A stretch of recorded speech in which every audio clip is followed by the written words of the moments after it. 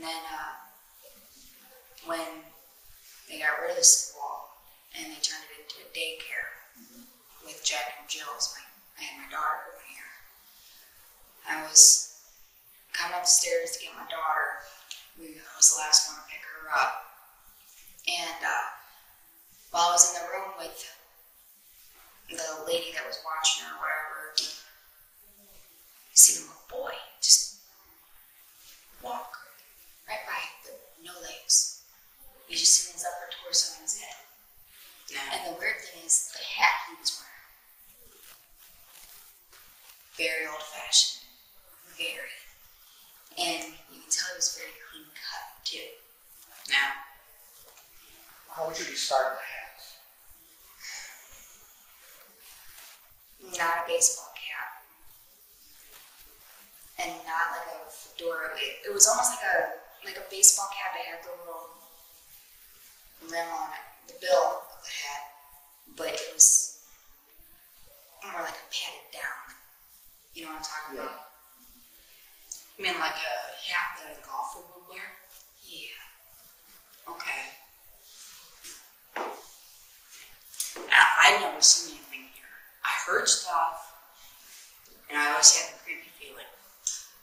Well, when the little boy walked by, the woman and I, we just looked at each other. And we're just waiting for someone to say something to one another. And I'm just, okay, I'm going to address the elephant in the room. Did you just see that? no. And she's just like, I've been ignoring it for weeks. I've been here for two weeks and I'm ready to quit. Mm-hmm. And I'm like, no. That was in the daycare on the second floor or something? Yeah. And then, right after that happened, you'd hear thumping above us. Loud stomping, like someone was almost like a like a wolf. Hooves walking. And then you hear, as I believe it, it, it was a mirror that had fallen off the wall.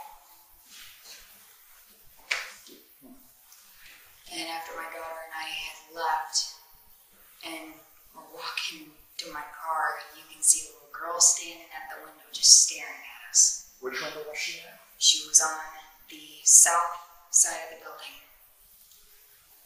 Second floor, I want to say. Okay, so that probably have been the daycare area too. Mm-hmm. Yeah. So, so you had like experiences with a boy and a girl in that same kind of. Yeah.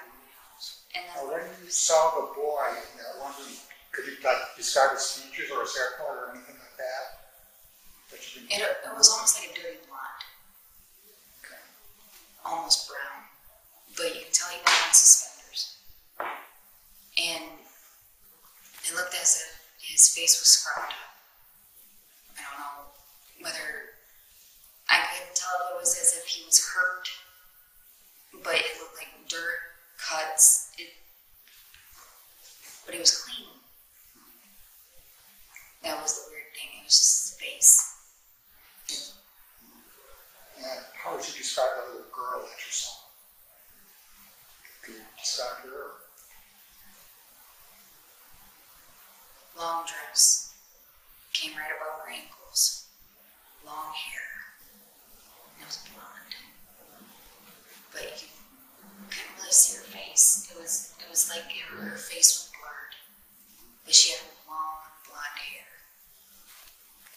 And you said you saw her downstairs in the boiler room. Second floor. Yeah. And then the hooves on the floor.